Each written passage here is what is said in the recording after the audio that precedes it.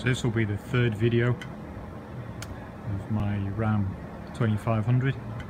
I finally got the flatbed finished. It's taken a little bit longer than I thought it would. I'll show you what it looks like. So the main frame is made of aluminium 4 inch channel. Chamfered at the back here. Goes around the back. Got little LED tail lights. They match the tail lights on the rear cross member. And I've got LED reversing lights. And I've made some little um, hinges for the back for the tailgate. It's only a small tailgate, but it seems to be big enough to uh, to carry stuff in the back and stop it falling out. Um, and then the tailgate's got these little Jeep Wrangler uh, hooks. These are off the hood on the Wrangler. Pulls down, drops down. You see, allows you to get stuff in the back.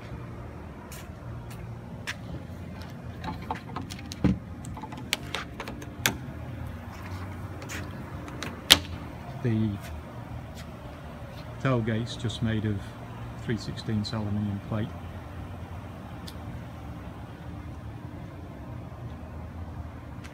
the top of the flatbed is made from 3 16 aluminium tread plate. Same all round. It's got a box section bulkhead.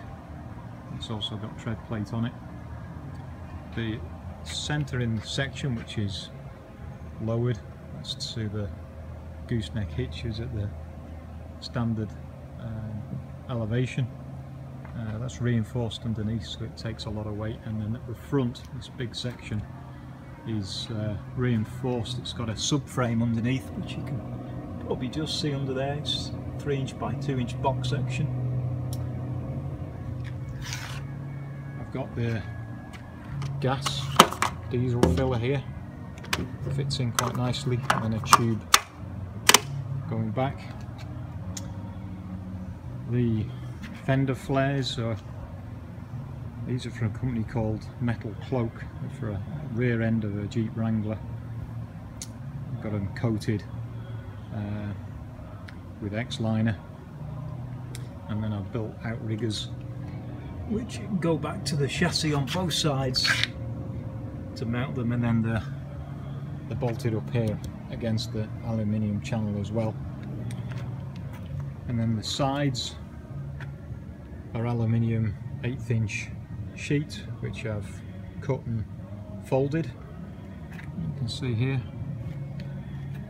And these are pretty solid. Same at the back.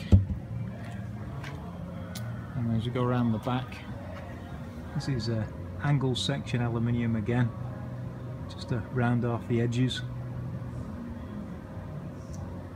And get back and you can get a decent look at it